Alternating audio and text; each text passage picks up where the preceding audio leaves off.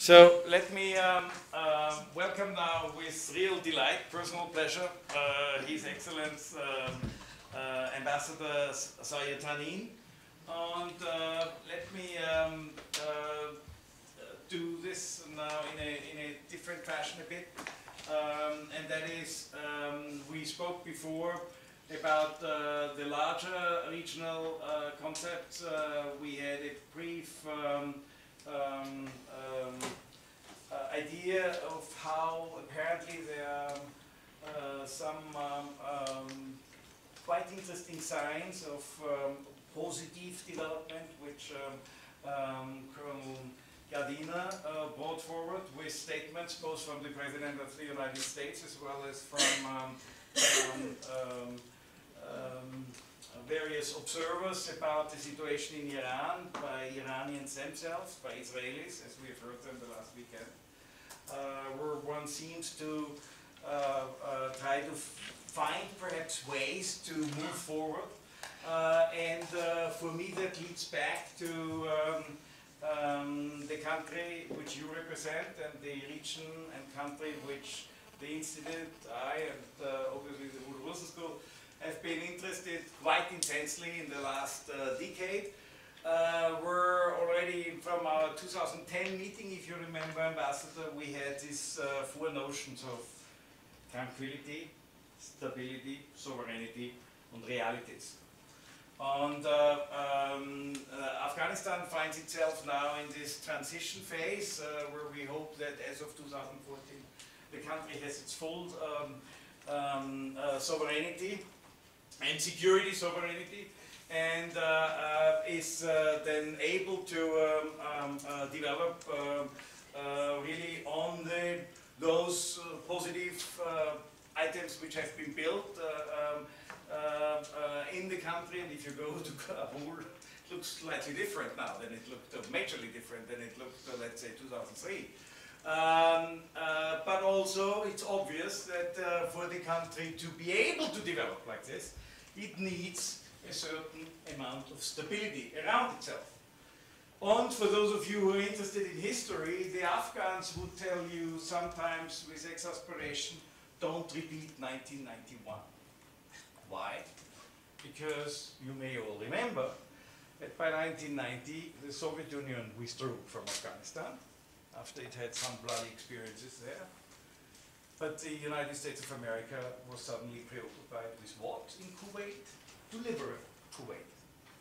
And that moment, all interest in Afghanistan and the region vanished because we had Kuwait and Iraq.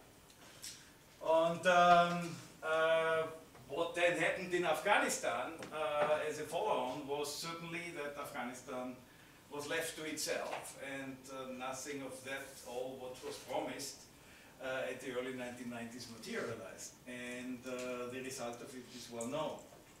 So the Afghans uh, have always been uh, a people which uh, took it upon themselves to rebuild and to revamp and to move forward. Uh, but now, in view of um, foreign presence since 2001 fall, obviously the country has different um, agendas, both within both amongst its own, its own uh, ethnic groups and also within and with its neighbors in the region. And nobody else is more qualified than to bring this Afghan message to us who live abroad than you are. You have done so many times with great uh, success. Uh, because um, Ambassador Tanin was not only um, um, has not only been uh, ambassador, permanent representative of Afghanistan in the United Nations since uh, uh, many years, but before that he has actually done a lot to keep um, the information about Afghanistan and concerning Afghanistan running through his work in BBC. And I'm sure that has helped him um, with uh, uh, his work in the United Nations, where many times he also um, uh, presented uh, Afghanistan in front of the UN Security Council, but he also was vice chairman of, uh, vice president of General Assemblies um, in the last couple of years, and he is chairman, co-chairman of the uh, permanent group, uh, freestanding group of um, the um, um, reform uh, through for the United Nations Security Council. So in many ways you have done many things which are above and beyond your duty. And uh, besides the fact that you have been always in our Liechtenstein for many years. So with this, so I give you the floor now, and we would love to hear your perspective as you see this uh, from uh, uh, the Afghan um, uh, position today on your messages which you have for our American friends.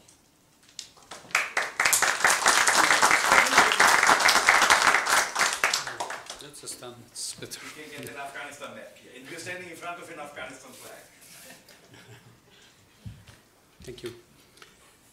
Uh, ladies and gentlemen, uh, I'm, I'm very happy to be here amongst you uh, and uh, to be part of that debate uh, uh, on uh, crisis diplomacy at the crossroad Afghanistan it's, uh, and the macro region.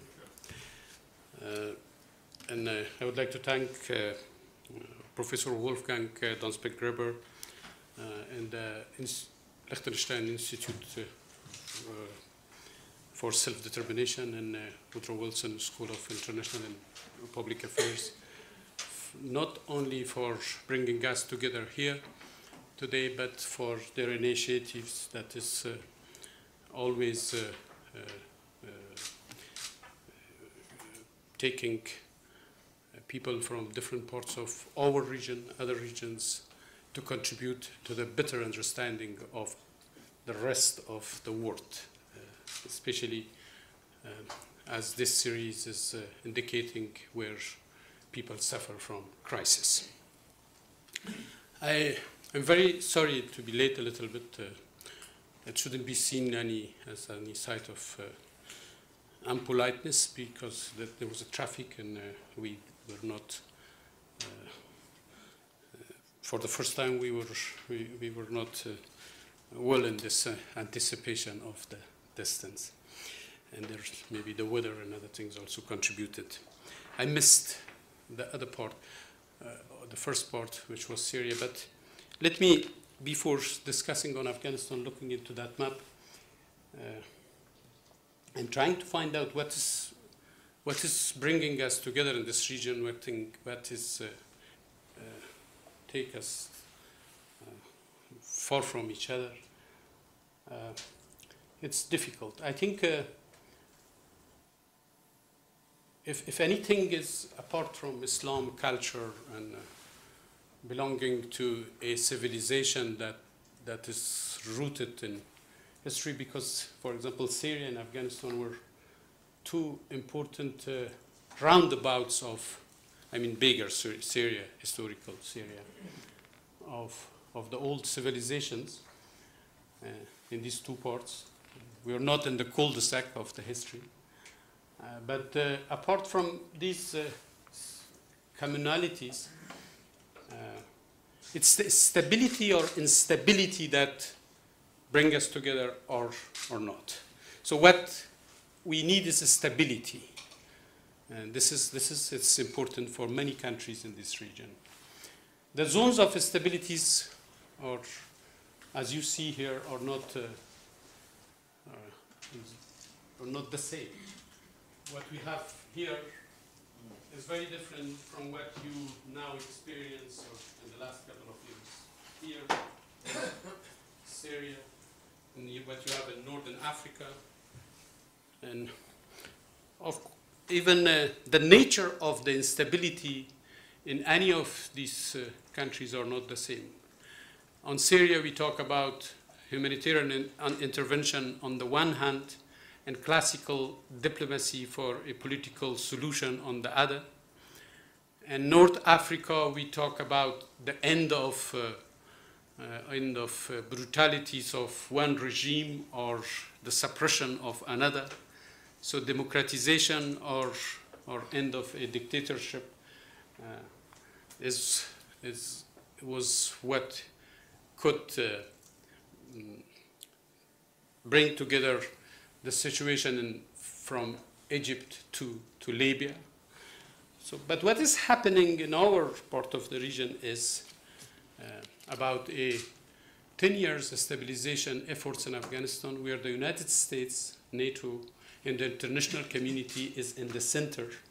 And it is the main important post-Cold War shared international, regional, common operation uh, in, the cent- in, in our view, in the center of a, a, a, part of the world where the geopolitics of, the, of this century is being played.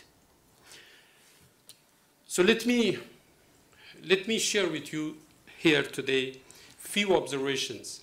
Uh, first, how we see Afghanistan now, how we see Afghanistan in, the relation, in relation with the United States, to be able to see it, how uh, it relates itself and the situation is affecting or being affected or affecting the situation in that part of the world that is in front of you.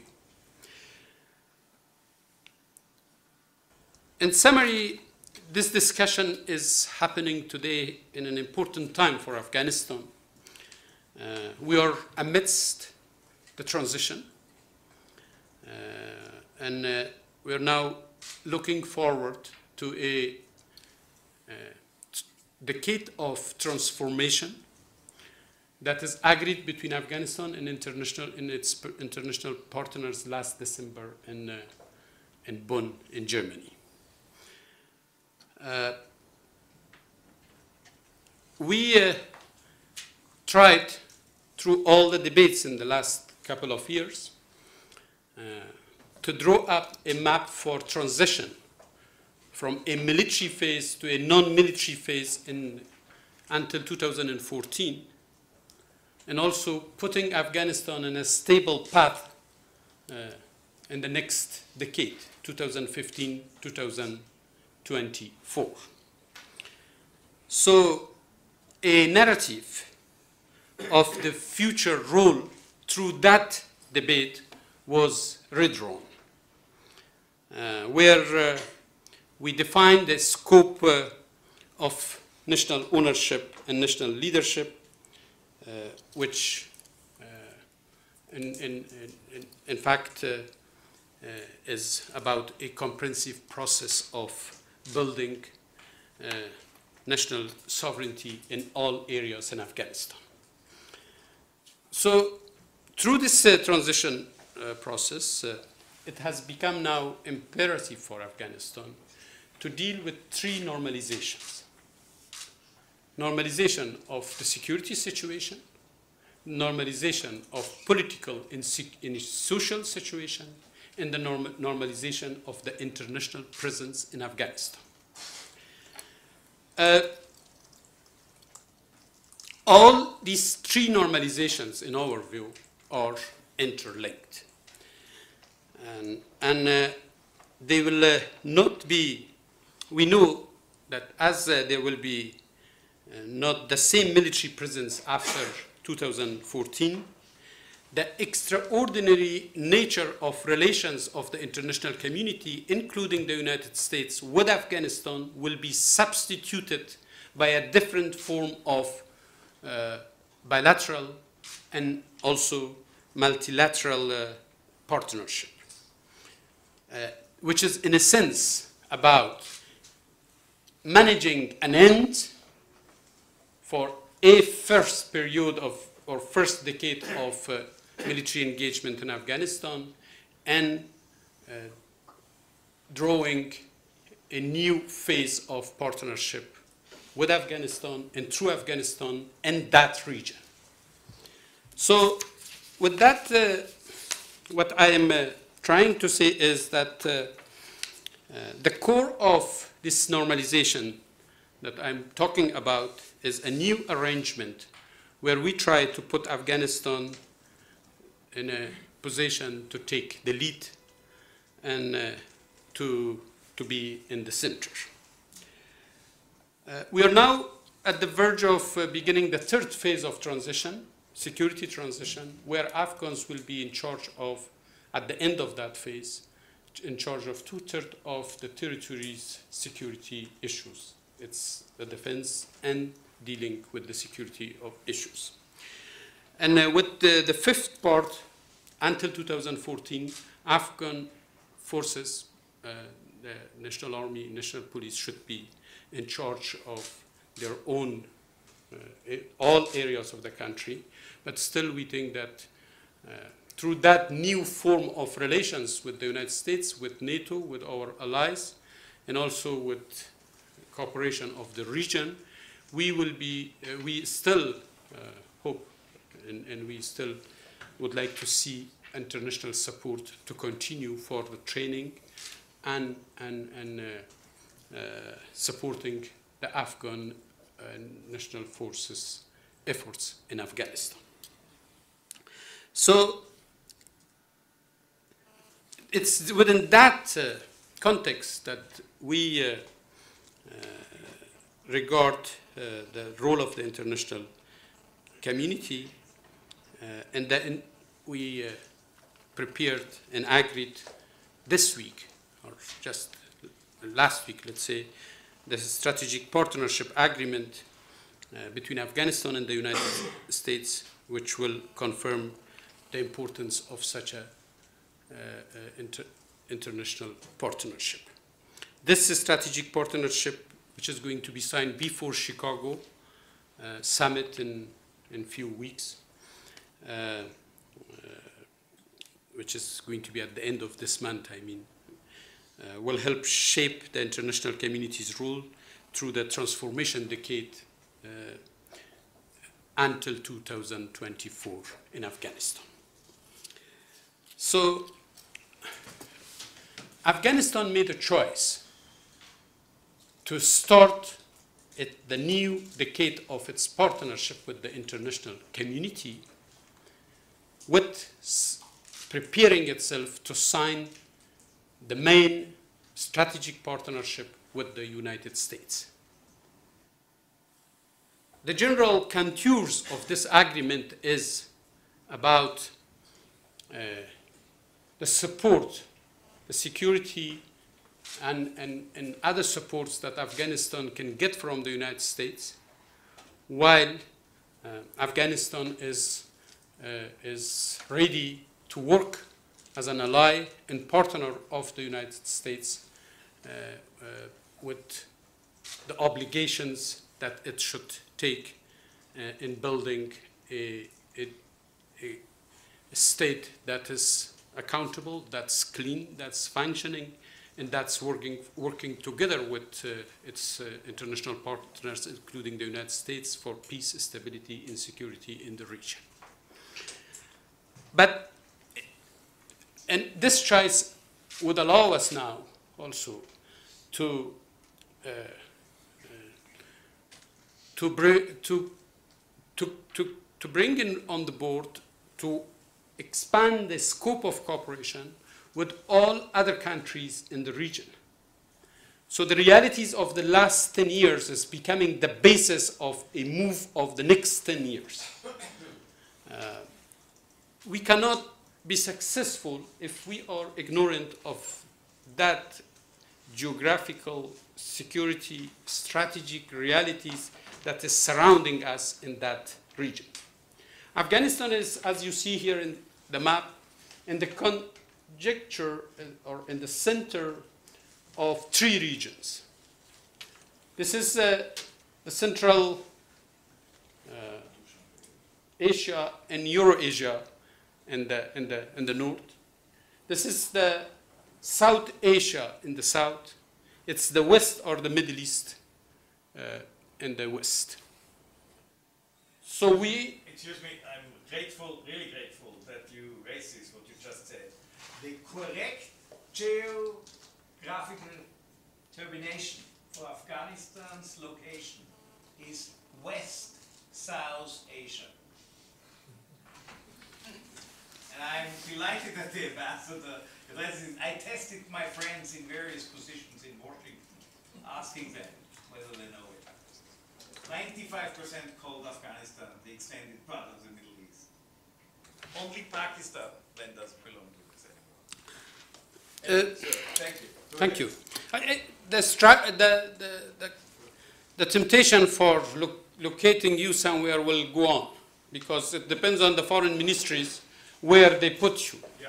Afghanistan is part of the Euro-Asia department of one, some countries, South Asia departments of some other foreign ministries, and uh, maybe West Asia, uh, uh, Middle East. And then uh, it depends on how you see it. The French see the Middle East as a proche, uh, Proche-Orient. Proche-Orient, which was close to them. And we see it as Far East maybe, but there is someone else who saw it in the middle.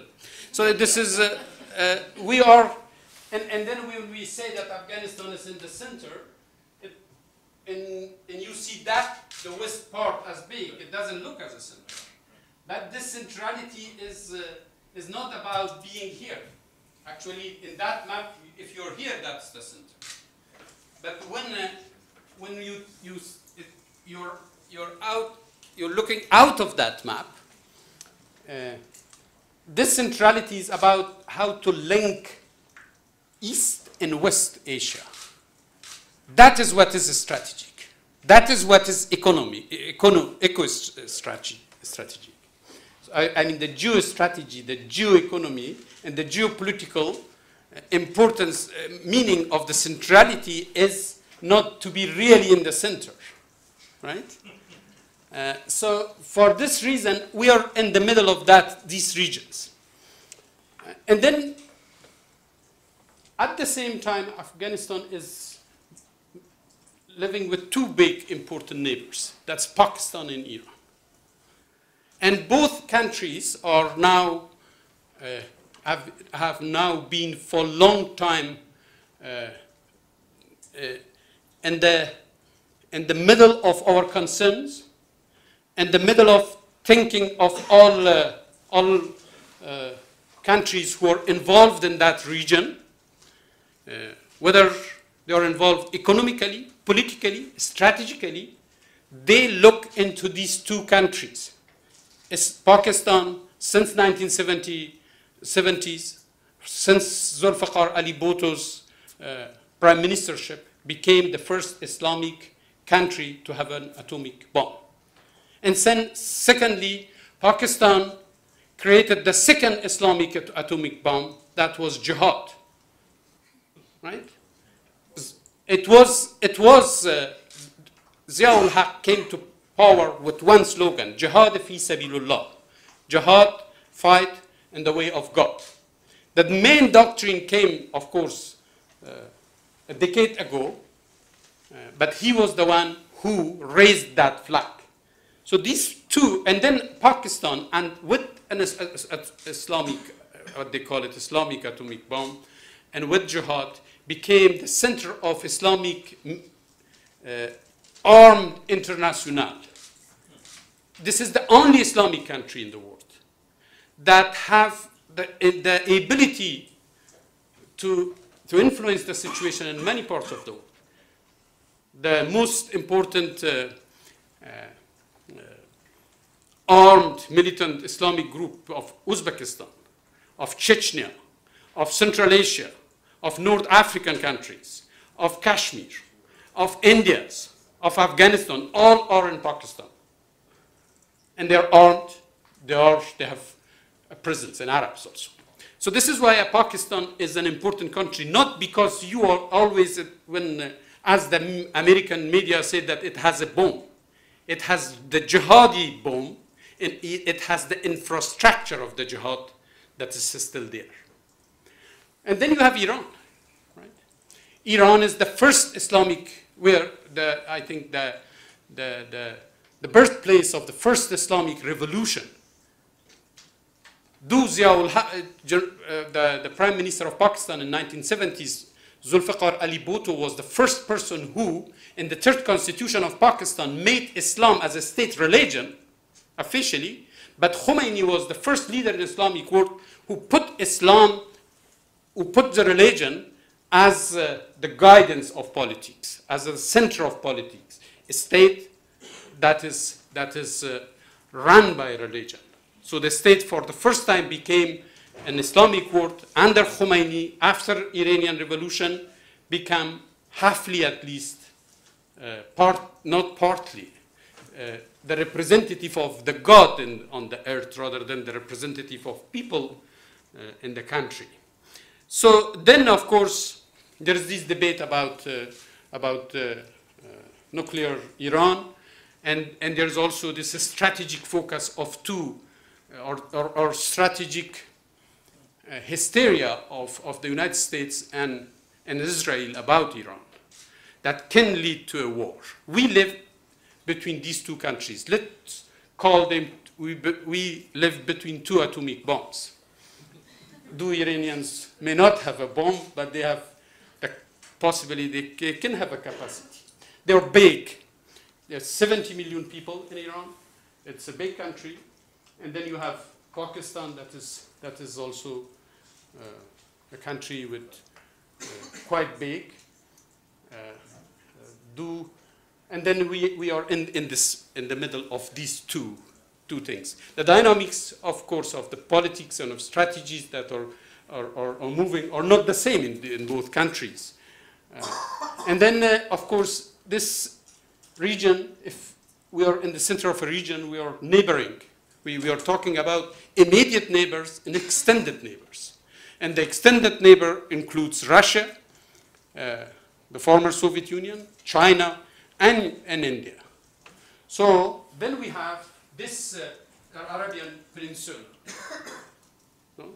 It is not atomic, but it's rich, it is influential, and uh, they have a big effect in Afghanistan uh, through all these years of war against the Soviet Union, the Mujahideen wars, the Taliban wars, even today.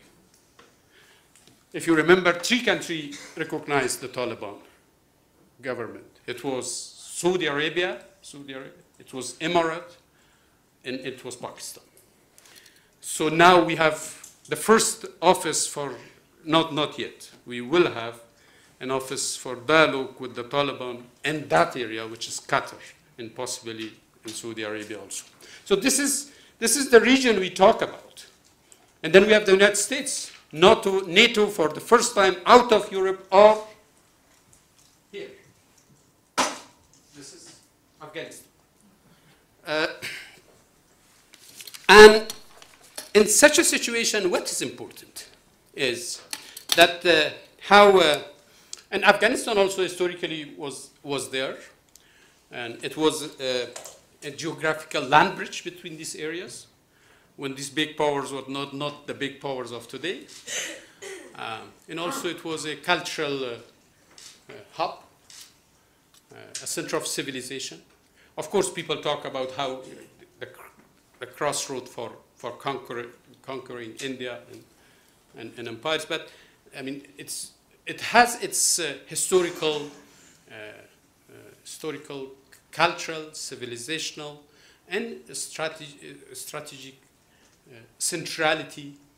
Uh, the, the, the famous uh, British historian Arnold Toynbee, uh, he, was, uh, he was talking about how Afghanistan suffered, suffered in reality from two, the emergence of two powers.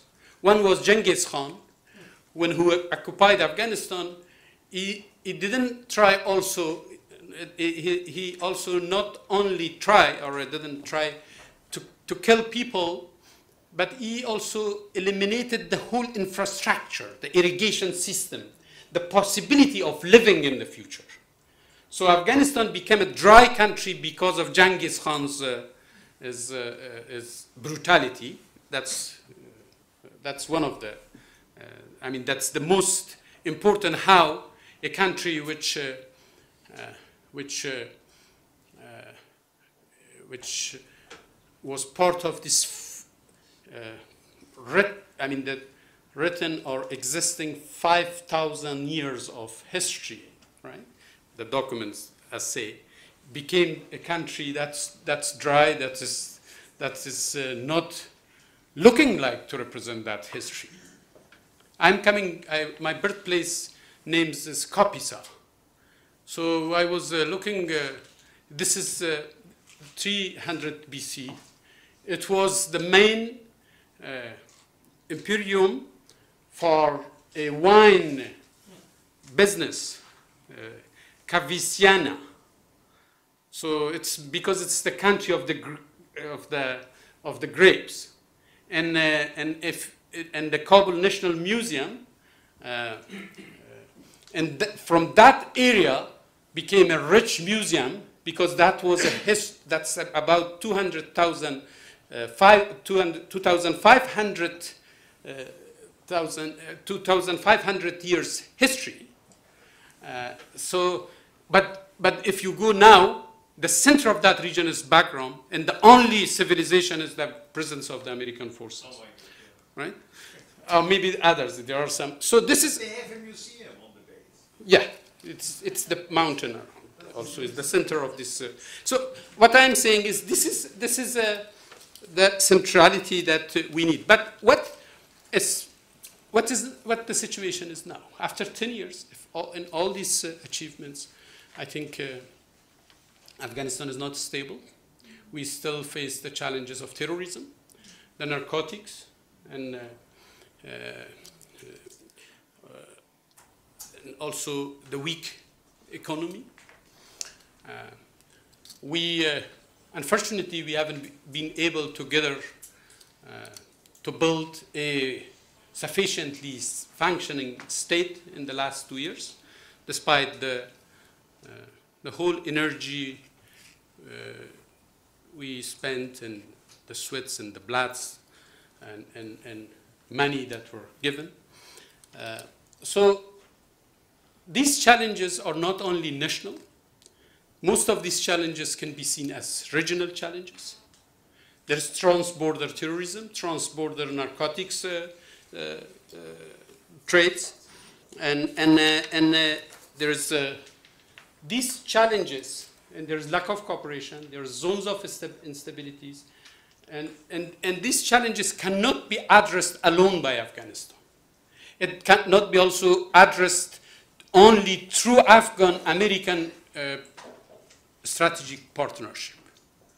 It, all these challenges, I mean, the negative trends there, uh, the threats there, needs a regional approach. We need to involve our, our neighbors. We need to also to involve our extended neighbors. Uh, then, of course, it is how to turn these negative trends into positive. How to, instead of this, uh, uh, instead, uh, I mean, this, uh, uh, the threats of terrorism and, uh, and insurgencies and the wars, how to, how to create a, an economic cooperation zone where we would be able to link Central Asia to South Asia. Central Asia is the, the Middle East of tomorrow with all these hydrocarbon resources, where the cons- consumer market of the Southeast is expanding and extending to the East Asia also. So if the gas, the gas of, of Uzbekistan, one of uh, Turkmenistan, as one of the biggest sources of gas, uh, if it has the main market that they can they can go is South Asia and East Asia, but through Afghanistan and Pakistan. TAPI project. So, and at the same time, I think we have, we cannot address issues like water shortages, electricity shortages, oil, and none of, none of these, uh, uh, uh, I mean, the, problems without each other. Now we import uh, water from Tajikistan. Uh, Pakistan is depending to our, I mean, source of waters. We have, we have, with Iran, we need, we have the same needs, mutual needs. Electricity is something that we, now there is a big network of exchange of electricities. We are importers, others are exporters. Turkmenistan, Uzbekistan, Afghanistan, Tajikistan are, are, are part of that electricity exchange market or trade market. But I've, the, the problem is still we, we, we live between this uh, dealing with the threats, facing the threats, and, all, and, and opening the opportunities for cooperation. We are not still somewhere to see uh, that the negative potential uh, of, of, of the situation turn into a positive prospect of cooperation.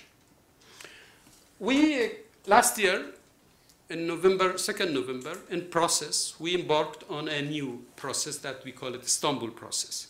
The process that, that's bringing 14 countries of what we call it Heart of Asia. It includes uh, Afghanistan, uh, Pakistan, Iran, all these five, six, uh, uh, you call it Stan, we call it Central Asia, uh, Turkey, uh, also Saudi Arabia, Emirate, China, Russia, India. So we have, we have that potential, and we in next June, uh, in 40, on 14 June, we will have the second ministerial conference of the countries that is now members of, uh, of this Istanbul process. Uh, then, a few days ago in Ashgabat in Turkmenistan, there was a meeting where, at the ministerial level or at deputy foreign minister level, that they decided that this, uh, uh, the Istanbul members of the Istanbul process at ministerial level should meet twice a year. One in, in the, during the General Assembly here in New York, uh, and the second in, uh, in, in, in, one of the capitals. Uh, so of, of, these countries. It's maybe expanded by us, including of Azerbaijan uh, in June to 15 countries. There were some, uh, some uh, doubts about that process. Russia, China, and others uh, still were a little bit hesitant to see what we mean by that, because we have other mechanisms for regional cooperation, mainly economic cooperations. But this one is a security, a, a, a political, a, a forum of, of cooperation that is taking us together towards a better, stable situation. And here, United, the United States, uh, or some of our NATO allies are participating as, as observers, and they're part of that process, supporting that process, including a, a role that we have for the United Nations. So then we have other mechanisms also. This is the bilateral, uh, the trilaterals we have. Trilateral between America, Afghanistan, and Pakistan, which is a little bit in, uh, uh, recently in, uh, in, in, in, coma, but we, we will, will will hopefully we'll uh, bring it back soon. And then we have other tri regional trilaterals like Iran, Afghanistan, and Pakistan. And then Afghanistan is becoming an observer of Shanghai Cooperation. So uh, at the same time, we, have, we are trying to, to renegotiate with NATO a new uh, frame of partner, strategic partnership. I think if you put this, this, the partnership strategy of Afghanistan and the United States in the center, which is going to be soon inked by the presidents of two countries, Afghanistan and the United States, then around that you can build. We have a, a number of new partnership strategies with with Britain, with France, with Italy, soon with Australia, uh, and possibly Germany. So with that, then uh, we will have also, we are part of SAARC, that is the South Asian uh, Economic Organization, ECO, uh, economic organization uh, that, that's uh, bringing us in, in the Central Asian countries and some Middle Eastern countries, Turkey and others. So despite that, we have uh, bilateral, multilateral organizations. Now we have to focus how they work, how they work in a coherent way. At this stage, I think, for regional cooperation, there are two uh, issues that I, uh, I have to highlight that are important. One, how, how to go through a series of uh, confidence building measures. Uh, how to have counter-narcotics corporations, how to have uh, counter-terrorism corporations, even how, how to have counter-disaster corporations. These, these areas not only about good things, it's about earthquakes, about floods, about a lot of natural disasters, right? Uh, the biggest, the highest mountains are there, and so, and then of course the the, the, the, private sector, how they can work together. These are all part of the uh part of of uh, uh, confidence building measure CBMs. But uh, of course, we would like to see how this strategic partnership of the United States, within the United States and the center can work. And we think we, we need, need more uh, agreements and memorandum, memorandum of, of, understandings to detail some of the main general agreements. Uh, but it's not against Iran, it's not against Pakistan, it's not against Russia, it's not against China. It is, it is a context where also work within that context, with that, that, that uh, idea of having all region together, with, with, where that is, that is not ignorant of the need and the necessity of, the, of uh, making regional cooperation uh, a, a, dynamic process of today and future. So who, those who see the role of America in that region, whether the eastern part or the western part, in terms of a, a, a dominant military force, uh, shouldn't be uh, ignorant of the fact that the United States is involved in, in, in uh, many important strategic efforts that, is, that are not only military. So, and then I think this is an area where the United States, NATO can work together with three big emerging powers like Russia, China, and, and, and India. At the same time, I think they can uh, work with both regions. At the end of the day, I think uh, our future is about living in peace, work with each other rather than fight with each other. Fight between ourselves, fight with others. This is what is characterizing the life of, of this region through the uh, media outlet.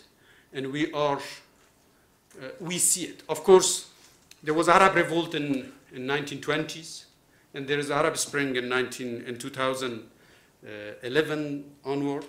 But this is not uh, about the future. It's about, uh, about uh, how these countries moving towards future through war or, or other uh, means. Everybody would like to live in a better situation, and uh, I think in this globalized world, uh, Afghanistan is one of the countries that can build through this ingredient of globalization and, and become a uh, building block of a globalized relation in that part of the region. I think I talked too much. Thank you.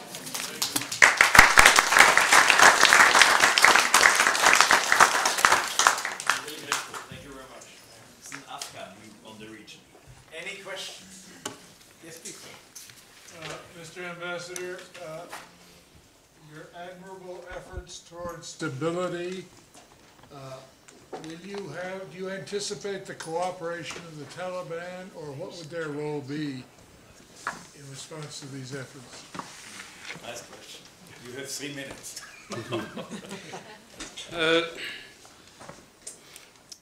I, my focus was on the region.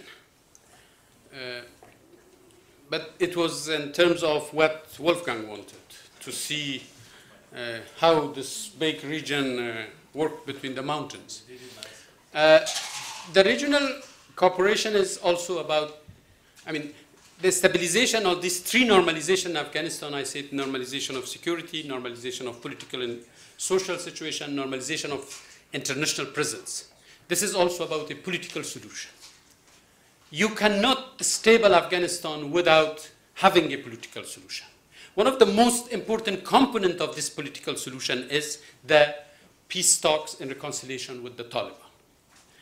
Uh, this is why I think uh, now uh, we try to, to focus not only on military efforts until 2014 to make Afghan army and Afghan police enable enough to deal with the security situation, but also bringing in the Taliban to dry up the sources of instability. That's the reason. Uh, but of course, the scene is uh, that if If it was as easy as I'm talking about, then of course we would have been in a better situation. The Taliban is a different creature. They fought against us uh, with brutality, and uh, they are a, a, formidable force of, of destruction. The most important job is not only to talk to them, but, but to turn them into an inter interlocutor first. That's also about CBMs. This Qatar office, if it's going to be open, is first of all about enabling them to, to, to talk politically. How they are going to be part of the process, to what extent they are going to be part of the, the process, there are many factors need to be seen. It is the Taliban's willingness, it is our willingness, the Afghan other side willingness, uh, to be ready to, to accommodate them, uh, to be open-minded enough about a political solution, and also it's about the neighbors. The Taliban sanctuaries are in Pakistan. Without Pakistan's help, without Pakistan's real involvement, uh, they may not have the liberty to, to choose a peaceful way. So then, of course, they have some sources in the Arabic countries. This is the complexities uh, that uh, requires that not only to talk to them, to bring them in, but, but also to engage uh, region. So another element, uh, another side of the regional cooperation is how to help the Afghan political solution to realize, to be realized. Thank you, Mr. Ambassador. It's very helpful. Thank you. Uh, is there, I wanted to add something to the Taliban, if you don't mind, since it's my mistake anyway. No, no, you, you're, you have an academic freedom, so you can say anything you like. Uh, uh, yeah, sometimes. um, there are three elements which are really important in this. That is, number one, first and foremost, the relationship between the Afghans, the Afghan elite, and the Afghans as such. With the Taliban. Is an Afghan matter. Number two, there is very clear a procedure that all those, I have to say, in one of the meetings where you were, thanks God, many years ago with me, I still heard only a dead Taliban is a good Taliban. Uh -huh. Of representatives of this side of the Atlantic we have left that notion. We have a very clear understanding now that anybody, as in any other country of the world, which has, who has raised arms or resistance against its government, can, under certain circumstances, be brought back, as you rightly said, turned around provided that person resigns and refrains from using arms and force and subscribes to the uh, constitution of the country. That has been generally understood from Northern Ireland to ETA and other places.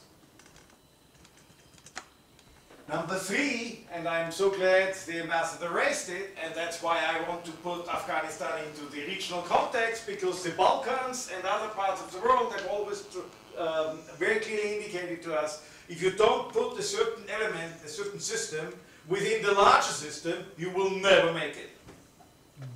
There are others than just the Afghans who might have an interest in continued rule of the Taliban.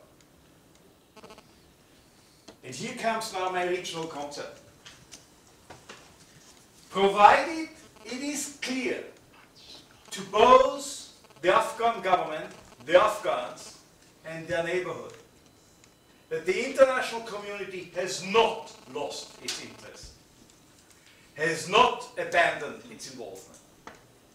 Not just on paper, but in reality. Only deeds count. And also demonstrates to the neighborhood that yes, there is still a continued real interest.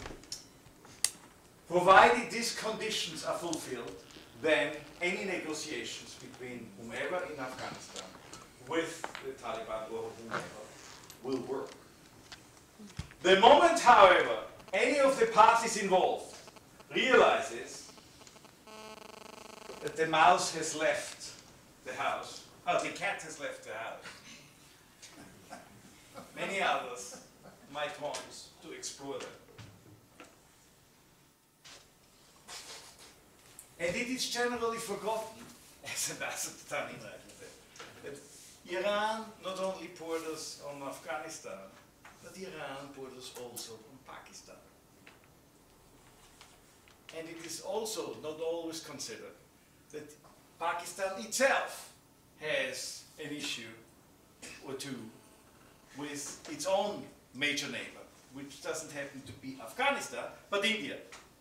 So you have this, and I love your extended neighborhood notion, which is just there. On the other hand, you cannot understand any of Iranian deals or dealings with the Gulf if you don't consider also what's happening between Tehran and Kabul and Oman or Dubai. And if I tell you that when Saudi Arabia did whatever it took to stabilize by its means Bahrain, which kind of forces did Saudi Arabia use? Yes, thank you, ladies and gentlemen. No Saudi forces, but Pakistani forces. So just to give a clear indication, and this is published evidence. And this hangs together with something the ambassador has not mentioned, but I as an academic can say. There is an intra-Islamic divide. Shia and Sunni and others. And does it play a role? Yes, indeed. Does this play a role for the negotiations you refer to? Yes, absolutely. Is it mentioned? No. And then finally, of course, it was very clear that everything was quite smoothly in Afghanistan till March 19, 2003. The moment we had the war in Iraq, the ambiance changed in Afghanistan. And I speak of something I've lived. And my prediction is if on the one hand the international community wants to have a stable and tranquil reality in and around Afghanistan, it better is aware that anything which happens between there and the Mediterranean has effects, at the very least through perception. I actually wanted to invite um, Gardiner to ask a question to Ambassador Tabi. The Iranian connection. Uh, to what extent is stability dependent upon the unlocking of the relationship between the United States and Israel and Iran? You're off the record. So go away. Uh, I'm, I'm always off the record. I'm aware of that. Uh, so, uh, you, you can see Iran only through the prism of Afghan stabilization or efforts. Or you can see Iran, see Iran through that bigger picture uh, that Wolfgang is trying to, to shape. No? The connection of this whole region and the, and, and the role of the United States here. Uh, of course, on Afghanistan, with Afghanistan, I think Iran has two big, three big influences. Uh, four big influence here.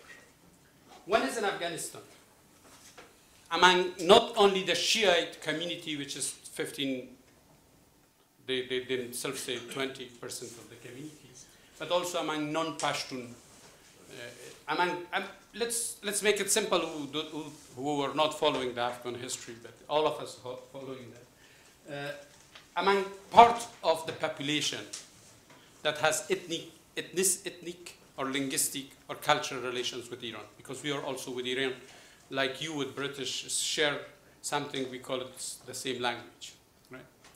Uh, and and uh, we speak the same language. This is this is very important. So this is the Iranian influence. This influences culture. This influences financial. This influences uh, uh, intelligence. This influences political. It's rel- religious also, ideological. So all all dimensions of an important uh, influence that the country can have and maybe half of Afghanistan or one third of Afghanistan by Iran is there. That's one. It has the similar, maybe bigger influence in Iraq. That's the second. The third influence is a strategic bigger that is Syria, Lebanon. Syria, Lebanon. You know. And of course, and then you have Bahrain in that Arab peninsula. There are Shiites. And Bahrain, we, we would like to ignore it. We would like to believe what the CNN is telling us. Uh, uh, or, or because they are not talking about these things. And, but Bahrain in reality is, as, is, is, uh, is not a dominant Sunni Gulf country. And we have the, the bigger, the, a, a number of Shia communi- communities in Saudi Arabia. And, uh, and this, is, this is the biggest uh, concern there. So at the same time, I think there is a bigger influence, which is not only religion in Emirate, uh, because it is, it is the, uh, the, the, the two, mm, uh, uh, the, the presence of Iranians here also, and this is the, the, the closeness. So Iran, and then it, it comes to what you said, this divide of Shia, Sunni Shiite. Syria is the most important example of the United States in the West allying itself with the whole Sunni, Sunni world and the view of people there against the Shiite Islam, whether they are Alawites or, or Jafaris of Iran or other Shiites. So the danger is because you see uh, when, when it comes to Syria, the idea of humanitarian intervention or ending Assad's regime, it is also about uh, the Gulf thinking, Turkish thinking, uh, European thinking, American strategies and Israelis. Of course, one, uh, an ignorant like me can see it as one uh, problem from the outside.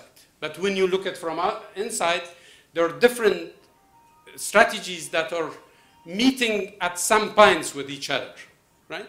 So people put their plan into plan of someone else. Of course, there is someone bigger than anybody who would like to put their plan into his plan. And that's the bigger player. So here, this divide of Iran, Sunni, uh, Shiite, can, can, be, uh, can be a bigger divide. Can you manage it? Even uh, if you like to have a divide. I don't know. In the history, there were divides between the, the religion and nations that could help a bigger and an outsider power to, to, to strengthen its uh, or to build its, its power. But, but always the big powers were aware of managing such divides. So there is this, the Iran also proved that can, it, it would have been able, it was able to create, when Khomeini was alive, after the Iranian Revolution, they created the similar brutalities, uh, brutal groups like the Taliban of today, which is, it belongs to the Sunnis world. So these are the potentials.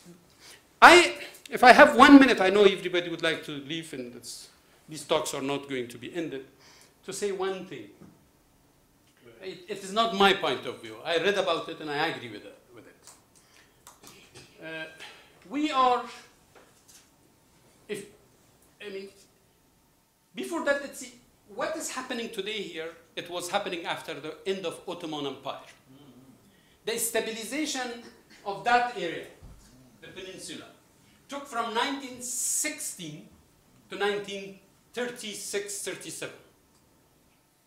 The stabilization of Syria took two, three years, 1920, 1922. Iraq, 1920, 25, I think. Egypt, 1919, 1920. So there was a decade from 1960, uh, just after the end of First World War, until the beginning of 1940s, even to some extent the Second World War, where these two big imperial power of the time, Britain and France, needed and felt to be there to deal with it. Of course, I'm talking about this region, and there is also uh, the Mediterranean one.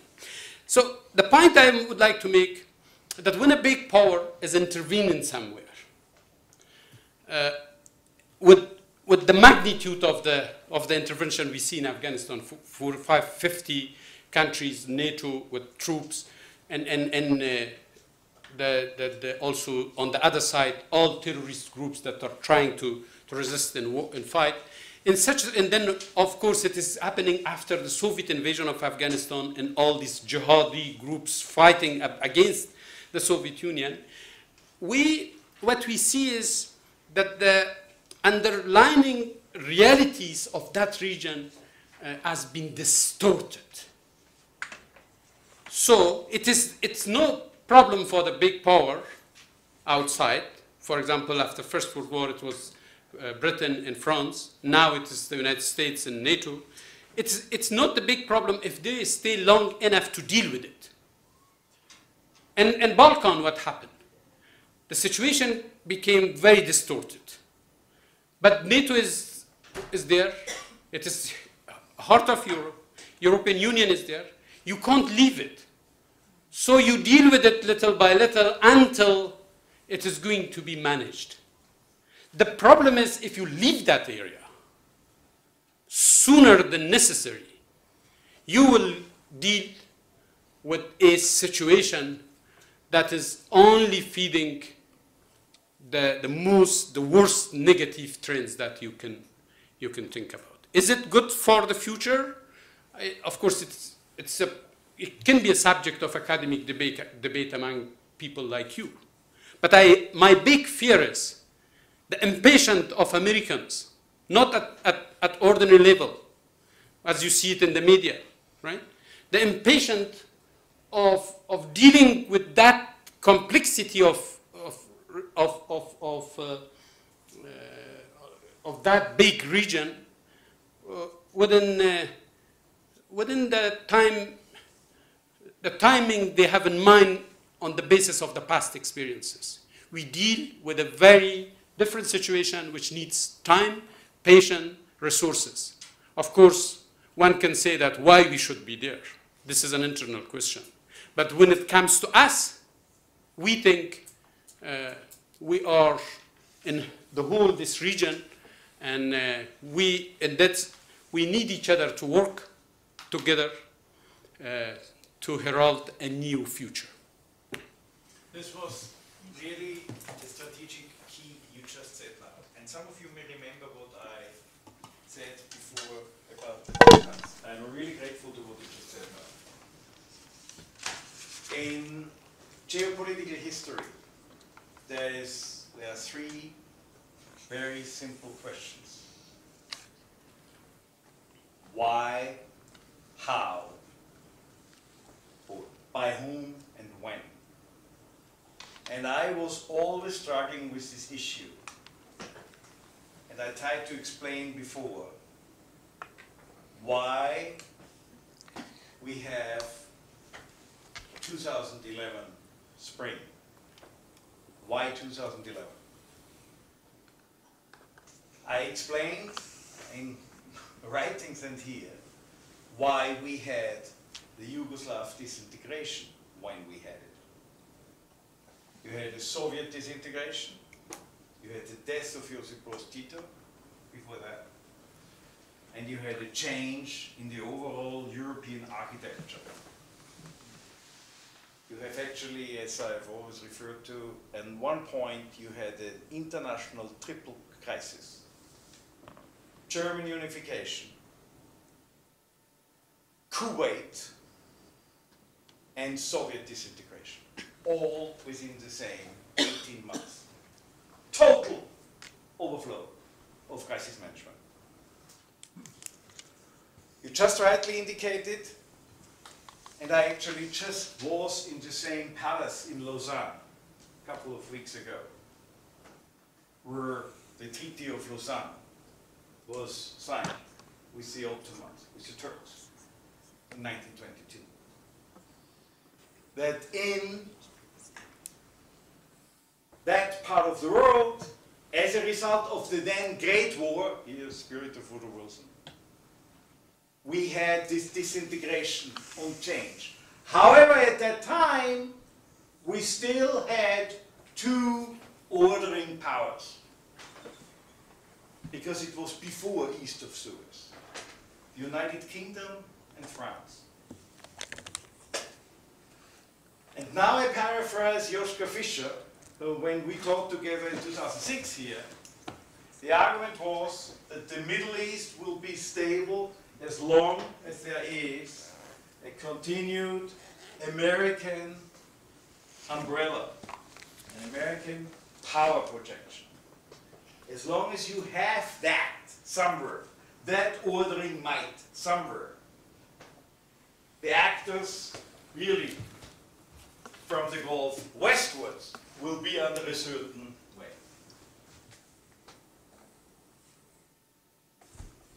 As of post 2009, 2008, it was perceived that the US might not fulfill its function anymore.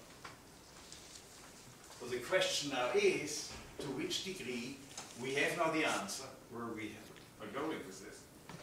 The question is, how long it will take the region to find an equilibrium and how much it will take to stabilize the region in and around and for Afghanistan. With all this, thank you very much, and we have a wonderful